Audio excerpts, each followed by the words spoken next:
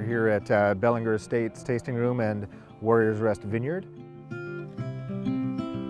This is, I would say, kind of a high pressure site uh, for birds, and we have a lot of neighbors here. We're really close to town.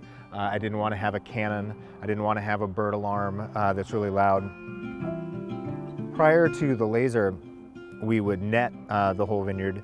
Uh, we did just one side, but even that was uh, several hundred dollars an acre just in labor. It was a pretty, fairly small vineyard, five acres of bearing fruit, but pretty significant investment in uh, labor every year for bird netting. In August, we'll start to hear the um, starlings like flock up in these trees and it can just be a cacophony, it can be really loud. Uh, once we start the laser, I get the sense they just don't like it, they don't want to be around it, and they, they generally just leave. They can come in and like hover a little bit, but then they, they don't really land and feed in the vineyard.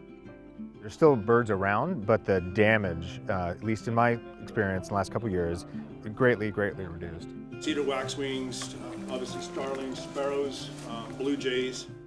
The thing I like about the laser, it's kind of set it and forget it, and then I don't have to worry, oh, I saw a bird. Oh, is that the beginning of a big invasion? It made the time before harvest relaxing. I'm very happy with the results.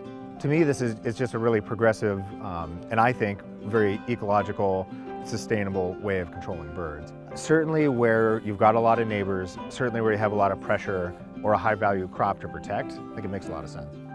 Even at five acres, soon to be nine acres, I think it pays for itself.